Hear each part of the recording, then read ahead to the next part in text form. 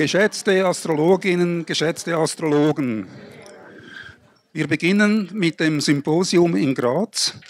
Ich freue mich, dass das VTA-Symposium das erste Mal in Österreich ist, in dem wunderschönen Graz. Das habe ich gestern schon ausgiebig besichtigt. Lohnt sich wirklich. Und äh, wir haben ein Thema Astrologie und die Ahnen. Und die VTA-Symposium hatten bis jetzt eine Tradition, dass wir ein Thema aufgreifen. Und meistens ist die Astrologie immer mit einem bestimmten Fachgebiet verbunden. Und dann haben wir in den Symposien jedes Mal eine Person eingeladen, die ausgewiesene Fachperson ist. Nicht unbedingt Astrologin, muss sie nicht sein, aber die von diesem Fachgebiet neue Impulse geben können, kann. Das werden wir heute haben. Äh, Susanne wird sie dann noch vorstellen. Es wird dann um das Thema Epigenetik gehen. Und das ist äh, für mich ein sehr spannendes Thema, das auch für uns Astrologen sehr spannend ist, von der, Ast von der Stellung von der Astrologie in der Gesellschaft. Bietet das von mir gesehen sehr interessante Möglichkeiten. Ja, äh, von der zum um, vom Umfang her, wir machen Tonaufnahmen, keine Videoaufnahmen. Und die Tonaufnahmen werden später auf YouTube veröffentlicht, kostenlos. Das können dann auch andere Leute hören. Damit wollen wir im Internet einen Beitrag leisten mit hochwertigen astrologischen Inhalten und damit auch sichtbar wird, aha, Astrologen, die diskutieren auch, die sind vielleicht nicht immer einer Meinung, aber da läuft ein fachlicher Diskurs. Ja, ich freue mich auch speziell als Gastgeberin äh, Susanne Czerncic begrüßen zu dürfen. Sie wird jetzt durch den Tag und den Morgen morgen auch führen. Vielen Dank. Dankeschön. Danke dir. Ein herzliches Willkommen nochmal in Graz. Ich hoffe, ich habe alle begrüßt und habe niemanden vergessen. Wir haben in der Früh gleich ein Hoppala gehabt, äh, dass bei unserer Buchungsbestätigung bei neun draufgestanden ist, weil so viel verschiedene Sachen zu buchen waren, fünf. Und das war auf jeden Fall eine, eine, ein Kudelmudel von uns auch, Entschuldigung. Ja? Dann wenn schon äh, ein vage Aszendent ist bei Beginn des Seminars mit Venus äh, ganz schön gestellt, aber Opposition zu Pluto, muss es irgendwelche Katastrophen geben. Und die sind natürlich eingetroffen. Und zwar ist Birgit Lummer, hat leider nicht kommen können, dafür springe ich ein, morgen für sie, bei den Mondknoten. Und Dieter Gollung hat auf der Herfahrt Herzprobleme gekriegt und liegt im Spital. Da wird Anna Rita Müller, Ferranti und Gabi Steiner dann nachher in die Praxis einspringen und es wird ganz was Tolles auch sein. Also es ist eine kleine Veränderung, aber bei dem Thema muss ja irgendwas sein, nicht? Und wir haben Mars, Uranus im achten Haus, da können die Emotionen dann schon einmal höher schlagen. Aber mit Glückspunkt im ersten Haus, mit einem Neumond heute äh, im zehnten Haus, wunderschön, die Venus auch da in der Nähe dabei. Neptun in sechs muss bei der Organisation irgendwas schiefgehen, nicht? Das ist irgendein Verbuchsler. Ähm, diese zwei Tage führen und ich möchte als erster äh, Dr. Daniela Zettel, achso, komm rein, Dr. Daniela Zettel begrüßen. Hallo. Die Daniela und ich haben gesagt, circa werden wir uns kennen, mindestens. Sie kam zu mir in die Praxis mit der Frage, soll ich mich selbstständig machen? Äh, Daniela ist Allgemeinmedizinerin, hat die Ausbildung zur Fachärztin für Geburtshilfe und Frauenheilkunde in Leoben gemacht, Master of Science und hat medizinische Genetik 2020 noch studiert. Das heißt, sie ist die Fachfrau für uns jetzt, Genetik, Epigenetik, was natürlich auch zu dem Thema Ahnen und was vererben wir astrologisch genetisch, was vererben wir so, hervorragend passt. Ja? Ähm, Daniela betreut äh, Schwangere auf die pränatale Diagnostik. Das ist auch ganz was Tolles. Also das, da geht es um die Schwangerschaft, was da schon alles ist und nicht passt. Ähm, also wenn ich jetzt du wäre, hätte ich wahrscheinlich schon sämtliche Daten dann von den Kindern, hätte es dann nachher durchforschen, was war in der Schwangerschaft. Das wäre mal eine Forschungsgeschichte, oder? Du erinnerst mich immer daran, genau. Aber der Tag hat nur 24 Stunden, ja. leider. Die Daniela ist wirklich extrem ausbucht und wenn man mal telefonieren sagt, du, mein Hebamme ruft gerade an, ich muss ins Spital fahren. Und wenn ich es am nächsten Tag anrufe und sage, alles gut gegangen, sagt sie, ja, es ist dann noch eine gekommen. Ich habe zwei gleich gemacht in der Nacht, gell? Und sie ist trotzdem in der Früh wieder auf. Ja, und wir freuen uns jetzt, du beschäftigst beschäftigst dich auch seit 20 Jahren mit der Astrologie und Arzt, Genetik und Astrologin. Was kann uns Besseres passieren, wie die Daniela, Daniela dazu haben? Ich danke dir ganz herzlich, dass du gekommen bist und wir freuen uns total auf deinen Vortrag. Danke.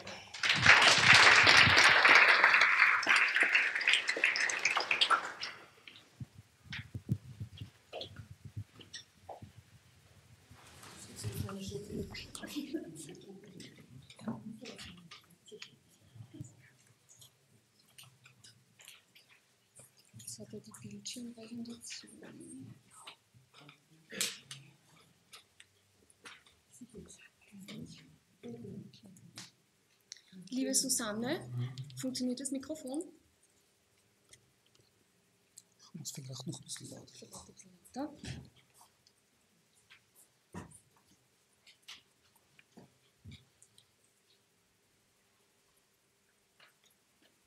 Susanne?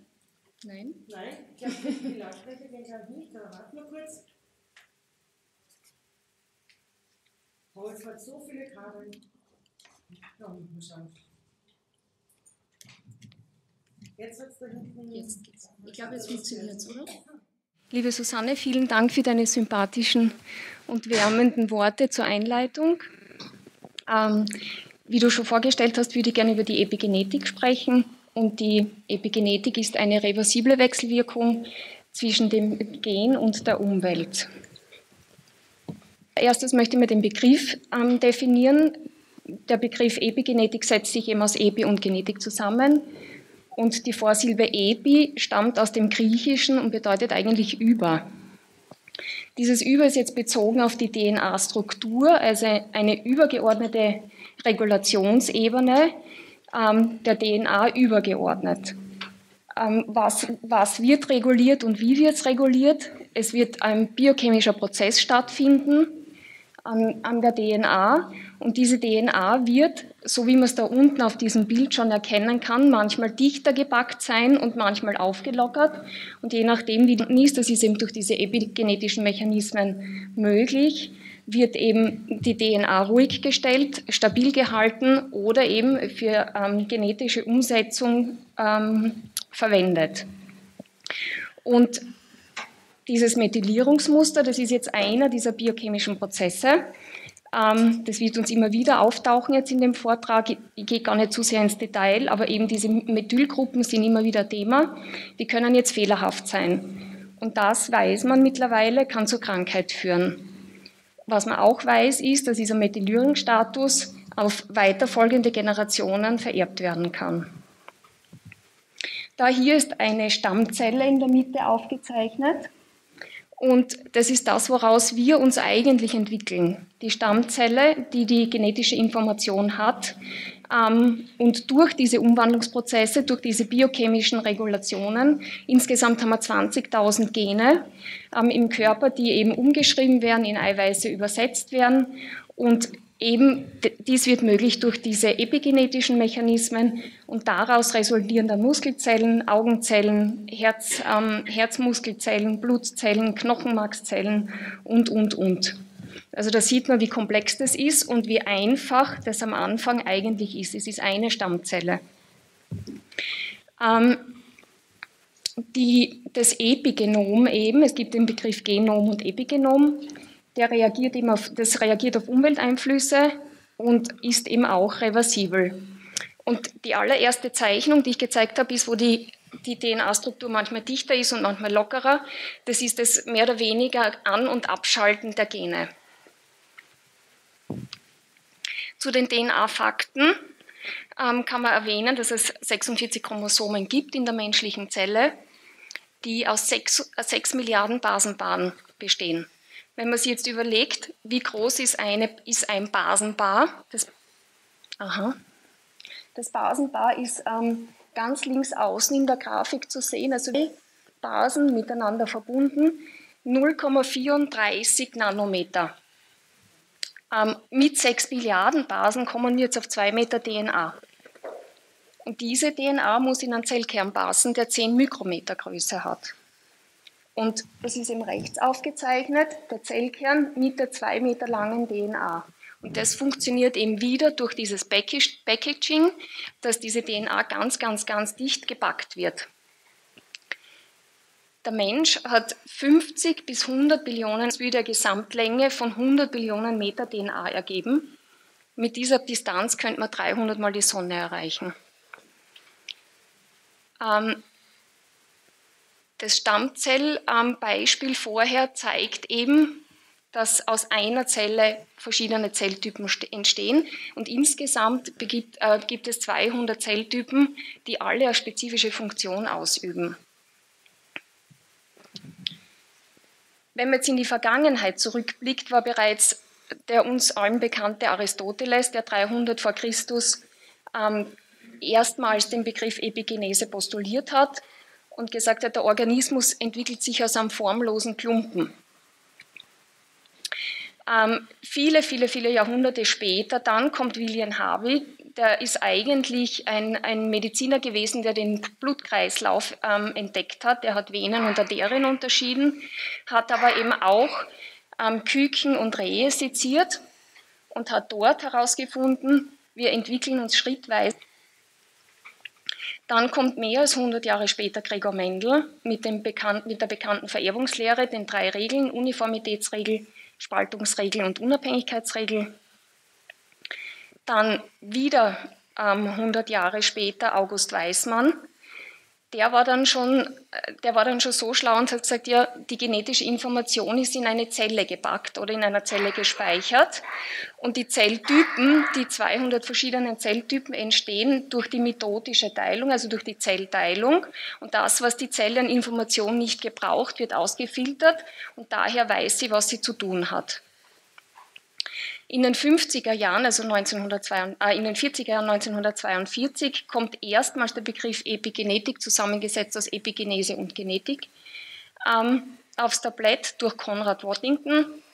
Und der hat erstmals beschrieben, dass es zu einer Interaktion aus einem Gen und der Umwelt kommt. 1953 die Entschlüsselung des DNA-Codes durch Watson und Crick Einige Jahre später war es dann möglich, auch die Gensequenzen schon zu analysieren. Man konnte das ganze Genom aufschlüsseln.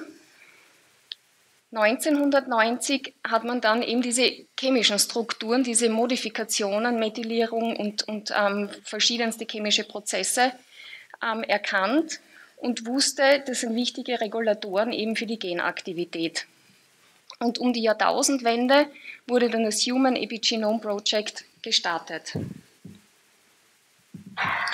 Was hat jetzt Epigenetik mit Vererbung zu tun? Dieses Bild zeigt eben eine schwangere Frau, die den Fötus in sich trägt und dieser Fötus wiederum hat die reproduktionsfähigen Keimzellen. Das heißt, eine in einer schwangeren Frau befinden sich eigentlich drei Generationen. Insgesamt muss man sagen, dass die epigenetische Vererbung sehr schwierig ist nachzuweisen. Die Wissenschaft sagt, man würde es erst mit der vierten Generation wissen. Und sie sagt auch, man muss streng, ähm, eben geht es um die Vererbung von der Mutter aufs Kind oder eben um generationsübergreifende Effekte, ähm, die Prägung des Feten im Mutterleib. Da hier habe ich zwei berühmte Evolutionstheoretiker gegenübergestellt, eben Darwin und Lamarck. Der Darwinismus ist wahrscheinlich allen bekannt. Der sagt eben Surviving of the Fittest. Das heißt, der, der am besten angepasst ist, der wird überleben. Und aus der, aus der Zeichnung der Giraffen erkennt man, dass die großen Giraffen einfach die, die der, der Umwelt besser angepasst sind, die kommen zur Baumkrone und werden überleben. Die kleinen nicht. Lamarck widersetzt sich dieser Theorie und sagt, der Phänotyp, also das Erscheinungsbild, ist erworben. Und er behauptet, die Giraffen mussten sich im Laufe der Evolution immer wieder länger strecken, ähm, dass sie zur Baumkrone kommen und haben dadurch eben den längeren Hals bekommen und können somit überleben.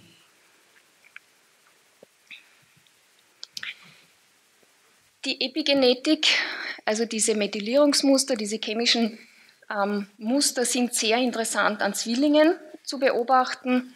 Insgesamt gibt es eben ein Zwillingspaar auf 250 Geburten weltweit und eineiige Zwillinge ähm, haben eben dieselbe genetische Information. Vom Beginn des Lebens bis zum Ende des Lebens. Sie sind aber dann im Laufe des Lebens unterschiedlichen Lebenssituationen ausgesetzt. Sie leben in anderen Umweltbedingungen und dadurch entscheidet sich die Epigenetik. Das sieht man da hier sehr gut an den Chromosomen. Das ist ein Chromosomenpaar von jungen Zwillingen. Die gelb, die gelb erscheinenden sind eben dreijährige Zwillinge und die haben noch ein sehr homogenes, ausgeglichenes Methylierungsmuster. Das heißt, ähm, die, das Verhältnis zwischen Unter- und Übermethylierung ist ausgeglichen. Das bunter erscheinende Rot und Grün sind eben 50-jährige Zwillinge und da sieht man, da ist die Balance nicht mehr so gegeben. Das heißt eben, selbe Genetik, aber unterschiedliche Epigenetik, eben durch den Lebensstil.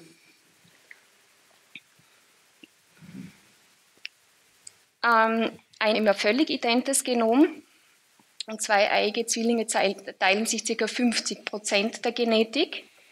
Und wenn es jetzt um Krankheiten geht, ist das natürlich immer ein interessantes Thema. Wenn beide Zwillinge betroffen sind, dann ist man sich sicher, das ist eine genetische Ursache. Wenn jetzt nur einer der beiden Zwillinge betroffen ist, dann muss irgendwas zusätzlich noch ähm, passiert sein. Und die Grafik rechts zeigt jetzt eben die Häufigkeit von Krankheiten ähm, bei eineigen und zweieigen Zwillingen. Beispiel der Schizophrenie ist ähm, ganz gut ähm, zu verstehen. Da sieht man, dass ähm, bei den eineigen Zwillingen ca. 50 Prozent ähm, Erkrankungsrate haben. Das heißt, in, in, der Hälfte der Fälle erkranken beide. Und bei zweieigen Zwillingen sind es nur mehr 15 Prozent. Das heißt, Genetik ja, aber es ist nicht alles. Wie wir ähm, aus der systemischen Aufstellungsarbeit und aus der Psychotherapie eben wissen, vererben sich auch Traumen. Also die Narben gibt es in der Seele und, und die, die kindheitlichen ähm, traumatischen Erlebnisse prägen die Nervenzellen sehr stark. Und man weiß eben, dass Mutterliebe das Nervensystem beruhigt, Stresssystem eigentlich herunterfährt der Kinder. Und eben aus der systemischen Arbeit ist eben bekannt, dass sich diese Traumen über Generationen vererben können. Das Positive daran, es ist rückgängig zu machen. Das heißt, man kann eben diese Erlebnisse überwinden und ähm, die, die Epigenetik des Einzelnen wieder neu schreiben lassen. Und was man jetzt in Bezug auf Resilienz, das ist auch immer ein Thema, auch sagen kann, ist, dass es eben individuelle Unterschiede auf die Resilienz bezogen und man vermutet auch, dass das epigenetischer Ursache sein könnte. Das Beispiel finde ich sehr lustig, weil da sieht man eben eine Königin und eine Arbeiterin und das betrifft jetzt die Ernährung und Epigenetik. Und man weiß eben, die Arbeiterin wird so groß, weil sie ihr Gelee Royal isst. Und die Arbeiterin bekommt ihre, ihren Honigbollenbrei. Ähm, geboren wurden aber beide mit derselben genetischen Information. Also da sieht man, was die Ernährung ähm, steuern kann. Und diese Methylgruppen eben, weil wir reden immer über Methylierungsprozesse, diese Methylgruppen sind eben in Nahrungsmitteln enthalten und richtige Spender von Methylgruppen sind Vitamin B12, Folsäure, Cholin und Methionin.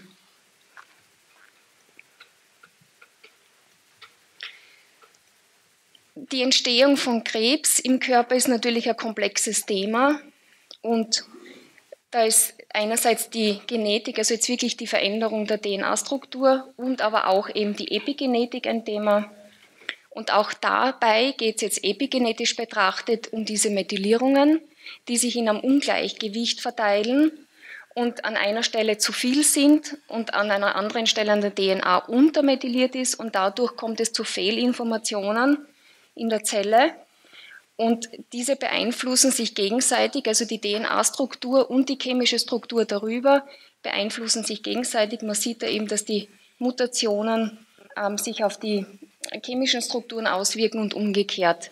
Insgesamt gehen natürlich so ein Prozess Jahre voraus und ähm, die Tumorzelle ist an und für sich sehr instabil. Also das ist ähm, genetisch sehr, sehr, sehr ähm, fragil. Das Thema Epigenetik wird auch natürlich in der Medizin schon als Prognosefaktor, als Therapie, ähm, Effizienzfaktor, ähm, Fortschreiten von, von Krankheiten oder man weiß, hat man Krankheit in, in, unter Kontrolle durch diese Therapie ähm, auch schon eingesetzt. Und die Therapie hat sich mittlerweile fixiert oder festgesetzt in der, äh, bei den Hämatologen. Das sind die mit den Leukämien, also Bluterkrankungen. Genau, und man sieht da hier in der Grafik eben, dass sie verschiedene Prozesse eben auslösen können. Links ist eben die DNA-Ebene und rechts wäre die ähm, epigenetische Ebene.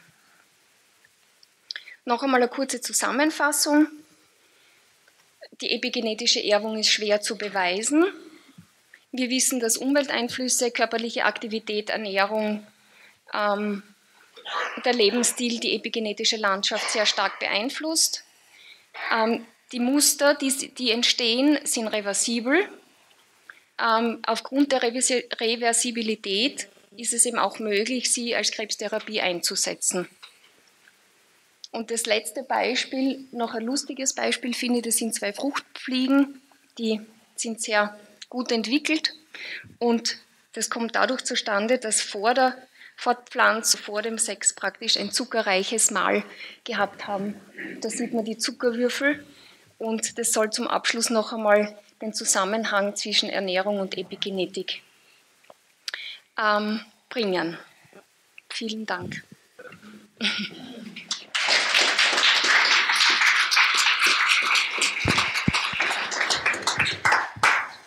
Also das ja war hervorragend für uns Laien heruntergebrochen, glaube ich, dass wir wirklich alles verstehen haben können. Genial danke. gemacht, danke.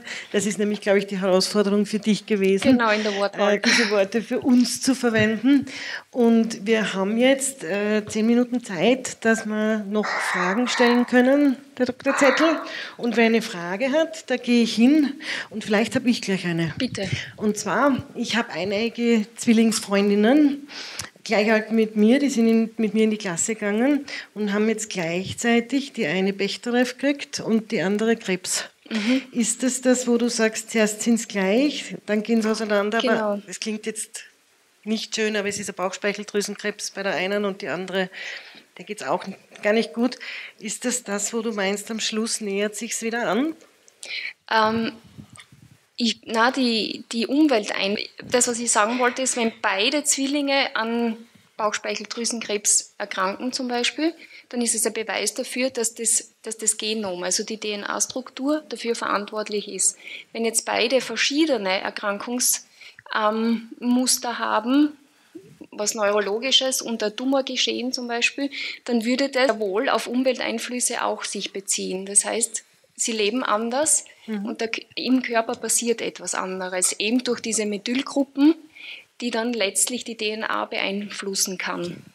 Das ist spannend, weil die essen beide aus dem Dampfgarer. Mhm. Rauchen nicht, trinken nicht, machen Sport, sind schlank. Mhm. Die eine hat eine ganz glückliche Ehe, die mit dem Bauchspeicheldrüsenkrebs, und die andere mit Bechterew wurde, also manchmal sagt ja der Name auch schon was, wie in der Ehe sehr gedrückt, ja, mhm. ähm, hat sich aber dann im Endeffekt noch befreien können und hält sich stabil und die andere gedrunter. Und das ist so spannend dass man es dann auch astrologisch auch nochmal anschauen kann. Mhm. Jetzt, wenn man Kombin macht bei Zwillingen und sich das genau anschaut, sieht man ja auch nochmal, warum der eine das, der andere das. Aber also die Zwillinge, wenn sie jetzt nicht per Kaiserschnitt auf die Welt kommen, sind ja circa eine halbe Stunde auseinander. 15 Minuten sind Oder 15 Minuten. Das wird ja schon wieder mit dem Aszendenten möglicherweise ja, was na, machen. Sie haben es gleich, nein, Sie haben es gleich, es ändert sich nicht viel, auch nicht die Häuser, aber da werde ich noch weiter forschen. Ja, Danke. es muss, muss was dahinter muss, sein. Muss was dahinter sein. Äh, darf ich einfach du sagen? Bitte. ähm, du hattest gerade was über die therapeutischen Möglichkeiten, vor allen Dingen in Bezug auf Leukämie, äh, gesagt. Wie sieht das aus? Nehme ich dann jetzt irgendwie ein Präparat ein, was jetzt die Methyl-Dingsterbumster chemische Kette genau, äh, also, ja, genau. modifiziert in die gewünschte Richtung? Oder genau, wie sieht das aus? Genau, es hält, es hält ähm, mehr oder weniger die DNA stabil.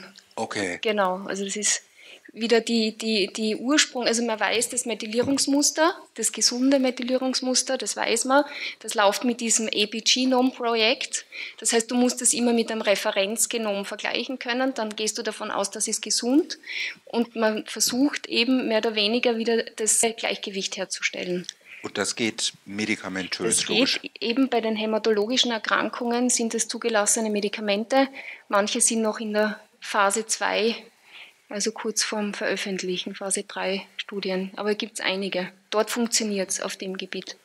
Und könnte man jetzt ganz laienhaft sagen, wenn es, äh, was du da mit den Krankheiten, epigenetische Ebene, rein genetische Ebene, ähm, da so Unterschiede sieht und der Lebensstil offensichtlich psychologische Faktoren eine Rolle spielen, dass man jetzt rein ganz platt gesagt über Ernährung schon eine Menge genau, genau, hinbekommen könnte. Genau. Es geht ja um diese Methylgruppen, mhm.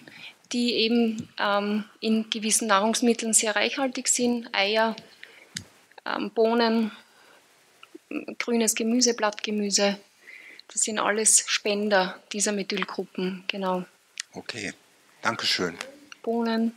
Ich kann dir das einmal schicken, ja, die, die Grafik. Ja. Blattgemüse. Okay, mhm. Erbsen. Gut. Na, jetzt wird mir gerade ganz schlecht. ganz kurz ist nicht die Ernährung. Ja, bitte. Hallo Frau Zelle, ich bin Gesundheitswissenschaftlerin. Darum interessiert mich die Frage, was würden Sie uns empfehlen in Hinsicht auf Lebensstil aus dem Blickwinkel der Epigenetik? Also was können wir quasi für unser Leben ab heute verbessern? Stressreduktion. Geh dann, geh dann. Ja. Gesunde Ernährung, frisch, also jetzt keine, keine Fertigprodukte, Vollkornprodukte, also Weizenmehl ist für mich jetzt persönlich auch ein Thema, zum Beispiel Klassen. Mhm.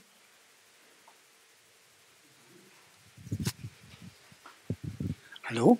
Hallo? Kann man von diesen Methylgruppen, du hast eben gesagt, dass man in der Ernährung was für tun kann, also viel grünes Essen und sowas, kann man davon zu viel essen? Ich frage mal einfach, oder zu viel, also dass das eine Übersättigung von Methyl, ja, wir, wir zwei kennen, wir können gerne und viel essen. Also prinzipiell geht es da ja um Vitamine, mehr oder weniger ist es unwahrscheinlich, dass man das überdosiert.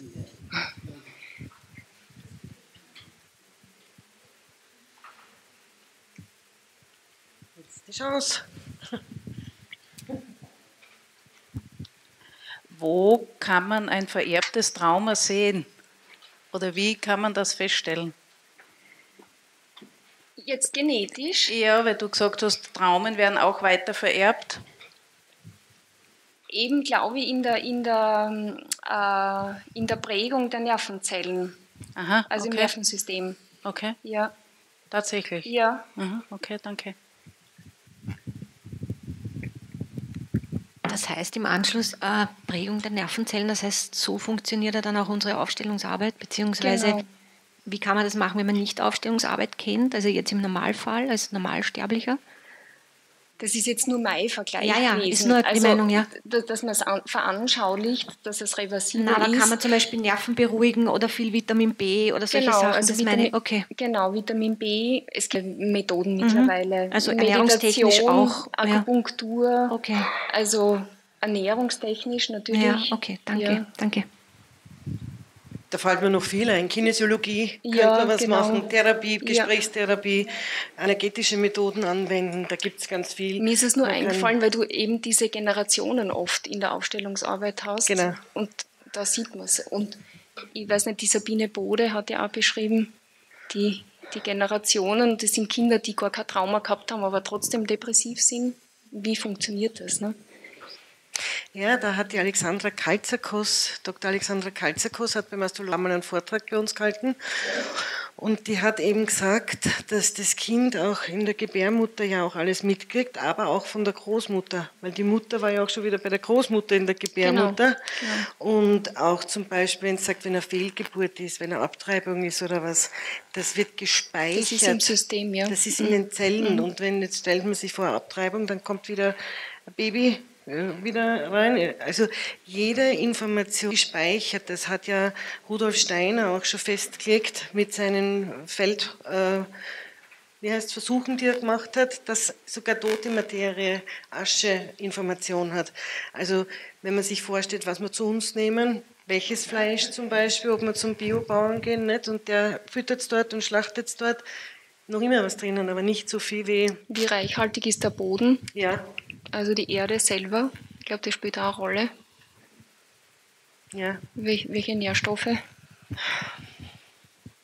Gibt es noch eine Frage, bitte? Nein, die Blätter sind nicht und es ist auch, wenn fotografiert wird, es nicht freigegeben. Ja, nicht zu verwenden. Ja, also, also das wird aufgenommen und das wird alles auf YouTube gespielt, aber die, die, die PowerPoint selber sind nicht zu verwenden. So, Zweimal. Na, jetzt. Fit, mach mit mit Ilse Buck. Nach dem Essen sollst du ruhen oder tausend Schritte tun. Danke. Habe ich auch eine Frage, äh, wird öfter an mich herangetragen. Äh, wenn ich das jetzt richtig verstanden habe, bei einer Abtreibung, wenn dann jemand keine Kinder mehr hat, dann würde sich das nicht vererben. Ist das richtig? Wäre es nicht im System oder wäre genau, es genau, seelisch im System? Weil C.G. Jung sagt, seelische Geschichten werden ja auch vererbt. Ja, aber an wen? Wenn es keine Nachkommen mehr gibt? Genau, von der Epigenetik her wäre es dann logisch, es wird nicht vererbt. Genau. Mhm. Okay, dann habe ich es verstanden. Mhm. Danke. Bitte, Thorsten. Ja, ich habe nur eine kurze Frage. Ähm, habe ich das richtig verstanden? Also ich werde mit einem bestimmten Gensatz geboren, aber die ändern sich dann, je nachdem, wie ich lebe. Die, die DNA-Struktur, also das Genom ist fix. Das ist in jeder Zelle, egal ob Hautzelle, ob Blutzelle, das ist fix. Da gibt es nichts dran zu ändern. Das, was sich ändern kann, ist die, die Modifikation. Wie ist die DNA gepackt? Wie ist sie biochemisch versorgt? Und das ist eben diese Epigenetik. Das heißt, der DNA übergeordnet. Ach so, weil wie, wenn ich jetzt ein Trauma habe, wie kommt das Trauma dann da, da rein, damit ich es wiedergeben kann? Über die biochemischen, über die biochemischen ähm, Veränderungen. Ach so, und umgekehrt kann ich jetzt also nicht durch einen guten Lebensstil meine Gene irgendwie aufpolieren oder irgendwie so? Na, das ist fix. Da sind die Karten gemischt. Ja, die Genetik ist sowas ein Thema und es hängt mit unseren Ahnen zusammen. Ich danke dir ganz, Dankeschön. ganz herzlich für diesen wunderbaren Vortrag. Und wer weiß, vielleicht sagt jetzt die Schweiz oder Deutschland, bitte, wir wollen den Vortrag auch bei uns haben. Schauen wir mal. Ähm, ich hoffe, du bleibst noch ein ich bisschen. Bleib da, ja? Du bleibst ein bisschen da, sehr gut. Wir haben wir haben noch Zeit für Diskussionen. Brauchst du zum Umstecken für den nächsten Vortrag keine Zeit? Ja, ich hätte mal eine Sache, wir haben vergessen, den Rolf Balkensberger vorzustellen. Der Rolf Balkensberger ist unser Oberguru vom VDA, vom Verein Deutschsprachiger Astrologenverbände. Da sind in Deutschland, Schweiz, Österreich, da sind wir eben drinnen im Vorstand und dann schauen wir, was, wir alles, was uns alles einfällt für die Astrologen und eben einmal im Jahr, alle zwei Jahre ist ein Kongress woanders und das ist das erste Mal in Österreich, dass man veranstalten. Und es freut mich natürlich sehr, dass ich das ausrichten habe dürfen. Das freut mich. Danke. Er ist, er ist unsere gute Seele. Ja? Er macht alles. Er nimmt alles mit. Er macht alles. Er macht die ganzen äh, Abrechnungen. Alles macht er. Und punkt pünktlich. Fotos, auf jeden Kongress machst du die Fotos. Also wirklich ganz toll. Ja, hat noch jemand Fragen?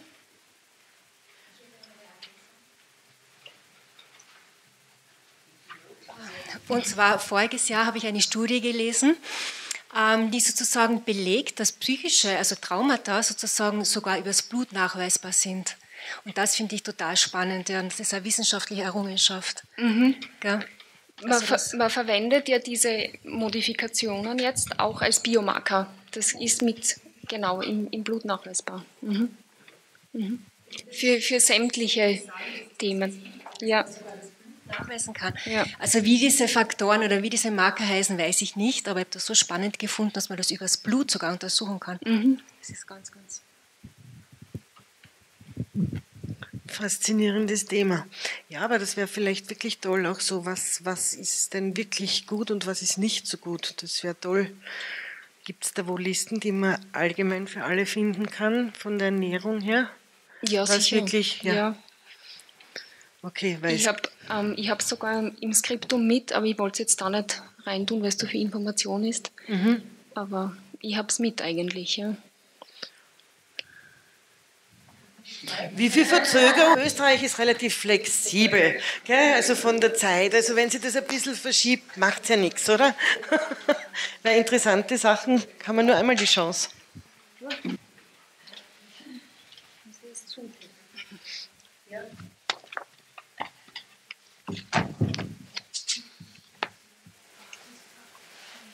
Na bitte. aufgeschlagen? Ja. Super. Ähm, Spinat. Also das Methionin sind Aminosäuren meistens. Spinat, Sesam, Pfeffer in Nüssen, die Folsäure vor allem in ähm, Blattgemüse, ähm, Sonnenblumenkernen, Vitamin B12 im Fleisch, in der Leber, ähm, Schellfisch, ähm, die äh, Muscheltiere wahrscheinlich auf Deutsch, ja. Schellfisch, ähm, in der Milch, Vitamin B6 im Fleisch, Vollkornprodukte, Nüsse, vor allem aus den Eiern, aus dem Dotter, aus der Leber, Soja. Ähm, Auch wenn das ein hormonbedingter Krebs ist, mit Eier? Die Frage, gell?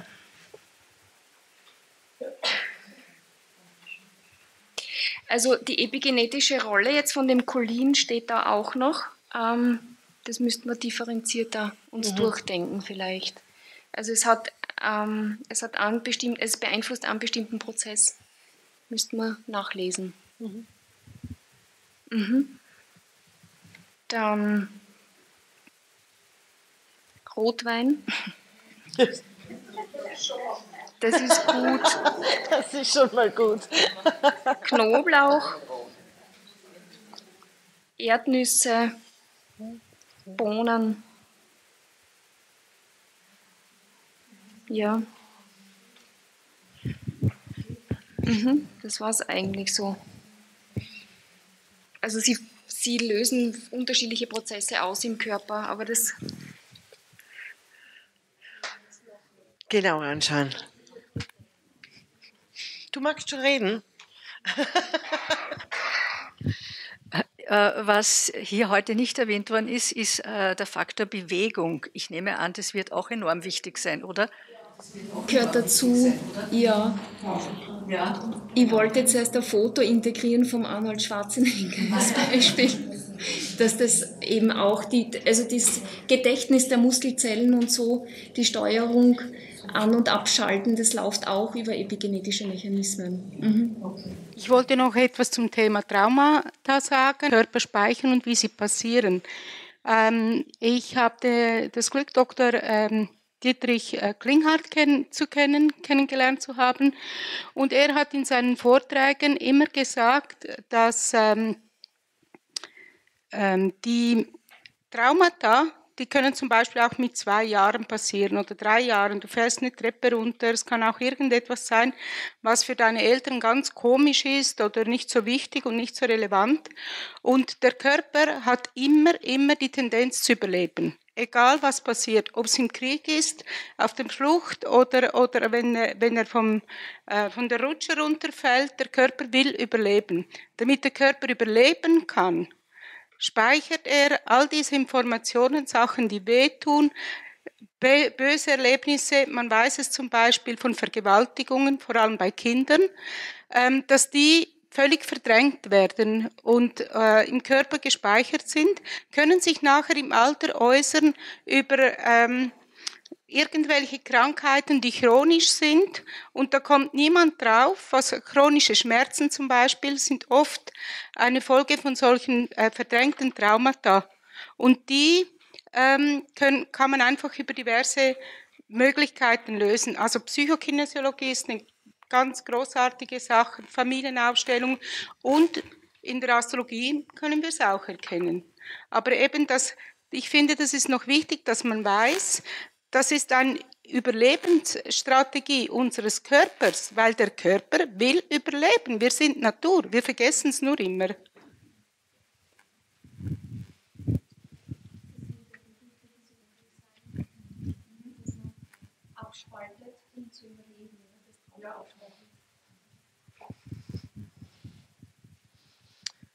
Herr Zeremonienmeister, wie spät ist es?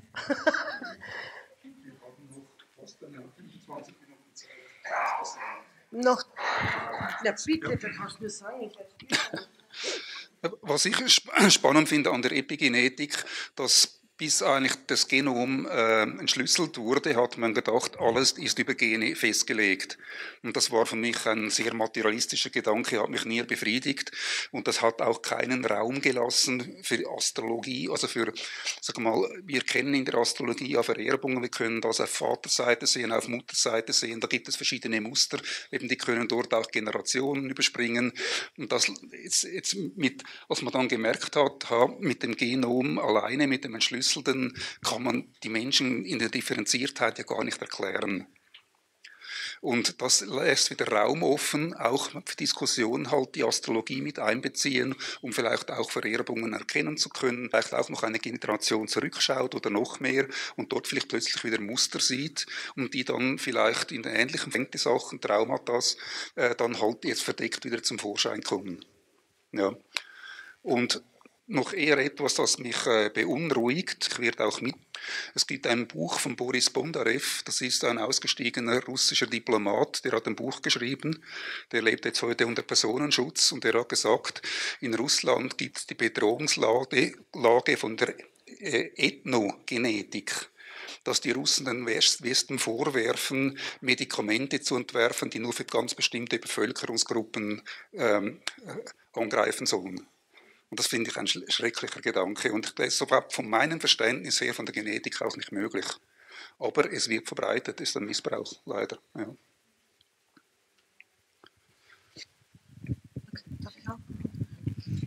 Zum ersten Teil möchte ich da gerne was dazu sagen, weil du gesagt hast, astrologisch sieht man Vererbungen. Wir haben seit sechs Generationen jetzt Mond-Saturn-Themen im Horoskop. Alle Frauen, die Männer nicht. Und das ist auch ganz was Spannendes. Und meine Tochter hat jetzt vor zwei Jahren, die hat nicht gewusst, kriegt Mädel oder Bub, und sie hat immer gesagt, wenn ich ein Mädel kriege, kriegt das nicht Monsaturn, ich habe das aufgelöst. Dann ruft sie, Geburt fängt an und ich komme zu ihr, den großen, das große Enkelkind holen und sie liegt im Bett und weint, weint und sagt, Mama, heute ist Mond-Saturn-Konjunktion, ich krieg sicher ein Mädchen. Und es war genau Mond-Saturn-Konjunktion. Und das heißt, und Erich Bauer hat einmal gesagt, ähm, da haben wir auch einen, einen Vortrag bei uns und dann habe ich gesagt, Mond, Saturn und er kann ja was recht hinknallen auch, muss ich dazu sagen und sagt, ja, ja, da hat es irgendwo in eurer äh, Vergangenheit in der Sippe einmal von Frauen ein furchtbares Erlebnis gegeben und jetzt werden alle Frauen Eisprinzessinnen, die sich abgrenzen, dass das nie wieder passiert.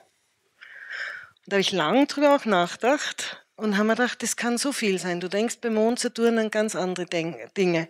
Wir sind tüchtig, wir sind fleißig, wir vergessen auf unsere Bedürfnisse und machen und tun und leisten, ja. Aber auch so Sachen könnten, bitte sein könnten stehen. Ich weiß, meine Oma zum Beispiel ist im Krieg in Gefangenschaft genommen worden. Sie war ein ganz junges Mädel, meine Mama war gerade vier Jahre alt, sie wollte nach Wien schauen, ob die äh, Familie noch lebt und hat gesagt, na, die waren eh recht nett zu ihr und sie hat das Glück gehabt, sie haben sie als Einzige dann freilassen. Aber der Blick war ein anderer Blick. Wenn da was gewesen wäre, hätte man es nie gesagt. Wisst ihr, was ich meine? Und wer weiß, was da war.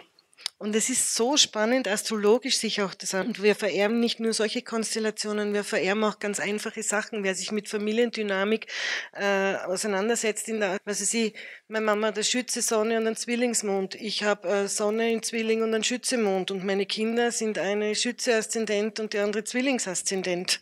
bei den Mädels, ja. Also alles vererben wir weiter. Und es ist von beiden Sichten, ich glaube, die zu vereinen, ist eigentlich die Krönung. Wenn man sagt, da sichtbar machen, da sichtbar machen und wie geht man damit um, wie kann man es lösen? Aber es ist mittlerweile sehr komplex alles. Also die Analyse der Genetik, die Datenbanken sind voll. Sind voll. Ja, die platzen fast, ja. Also schließt sich meine Frage direkt an Susanne an. Ähm, 20 Jahre Erfahrung in Astrologie, ähm, medizinische, genetische Know-how ohne Ende. Ähm, wie bringst du das zusammen? Hast du da Gedanken, Ideen, Assoziationen zu, Hypothesen oder vielleicht sogar schon was ganz Fertiges? Beruflich? Also ob ich, ob ich das... Als Astrologin ja auch. Ähm, also, ich denke schon an die Astrologie beruflich, aber eher mehr, wenn es jetzt mich betrifft in schwierigen Situationen. Ist chirurgisch etwas, was eine schwere Geburt? Dann schaue ich meine Konstellationen an und denke mir, okay, gut, das war jetzt eine Herausforderung. Ähm, auf die Kinder selber jetzt schaue ich nicht so, weil die können in ein anderes System, denke ich mir. Ähm, und jetzt für die Beratung an sich als Arzt lasse ich es eigentlich weg. Genau, weil das kann ich vom Richter nicht argumentieren, leider. Also da muss ich mich an Studiendaten halten und ja. Aber für mich, also für mich hat es einen ganz hohen Stellenwert für mein Leben persönlich, ja. Also mir hat sich ja auch die Frage aufgedrängt, ob du astrologische Forschung betreibst, also Medizin mit Astrologie. Und, ähm, aber ich nehme mal an, dass du trotzdem wahrscheinlich ein bisschen die letzten 20 Jahre dir etwas aufgefallen ist. Ja, wenn zum Beispiel Frauen, die Endometriose haben oder wirklich äh, im Monatszyklus im Zyklus immer wieder Schwierigkeiten haben, dass die Mondblut da. Hast du da nie reingeschaut? Nein, weil ich habe jetzt nicht die genauen Daten der Patientinnen. Also die kommen ja jetzt im medizinischen Belangen zu mir und nicht so wie zu, zu Susanne mit astrologischer Frage oder also schon aus dem Leben, aber astrologische Antwort, so weit komme ich gar nicht. Also, na, also man muss schon viel zusammenpacken in der Beratung. Es ist jetzt nicht nur die Medizin, sondern man sieht ja den ganzen Menschen vor sich. Ähm, aber so detailliert, dass ich sage, ich könnte das auch noch integrieren, das ist unmöglich. Das wollte ich als junger Arzt. Das heißt, aus der astrologischen Praxis? Nein, oh, nein, es ist ein, äh, ein Hobby und ein intensiver Gesprächsstoff zwischen der Susanne und mir. Du kannst sehr viel, ja. Ähm, ja, das Forschen wäre natürlich total interessant. Ne? Hat noch, ja. Silvia, bitte. Hallo, also ich war neulich bei einem ähm, was war das, eine Art Kurzseminar in, Mün äh, in Zürich. Und da waren zwei Psychologinnen und die haben, äh, es ging eigentlich um Epigenetik äh, bezüglich Traumata und die haben behauptet, es sei noch gar nicht ähm, wissenschaftlich klar, dass es diese gibt, dass man das nachweisen kann. Und ganz am Ende von diesem, ähm, von diesem Vortrag, oder was es war, hat, ist eine schwarze Frau aufgestanden aus Amerika und hat gesagt, hat man denn nicht auch mal hingeschaut, was mit den Amerikanern ist, mit den schwarzen Amerikanern, die alle von Sklaven abstammen, hat man da nie hingeschaut und die Frauen wussten keine Antwort. Wissen Sie eine? Wo genau hingeschaut? Auf bei den Schwarzafrikanern, ähm, sagt man, nein, Schwarzamerikanern, alle Schwarzen in Amerika sind Nachkommen von Sklaven, die müssen alle traumatisierte Vorfahren haben. Hat man da nie hingeschaut? Mir ist nichts bekannt. Auch nicht. Nein. Ja, das sieht man aber schon also man weiß mittlerweile schon genau, dass alle Holocaust-Nachkommen dieses Trauma ganz tief drinnen haben. Ich habe selbst ein paar Freundinnen, wo ich gesehen habe, wie das, obwohl sie in der Welt aufgewachsen sind, aber das ist, und auch der Professor Chris Hummer, äh, Schubert, der hat ja sehr viel in der Epigenetik geforscht und hat ja diese neurovegetative äh, Folgen genau beschrieben. Also da sieht man auch, dass die Epigenetik schon auf einem großen Forschungsfeld auch viel erreicht. Ja, ich weiß zum Beispiel von meiner Mutter, die eigentlich, meine Oma sagt immer, meine Mama hat keine einzige Sirene im Krieg gehört. Aber wenn um 12 Uhr am Samstag die Sirene geht, schreckt meine Mama immer zusammen. Meine Oma sagt, sie jetzt kein einziges Mal gehört. Also.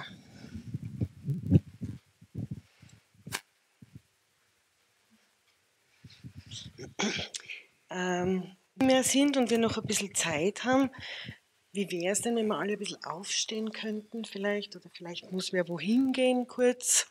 Oder so fünf Minuten Pause machen?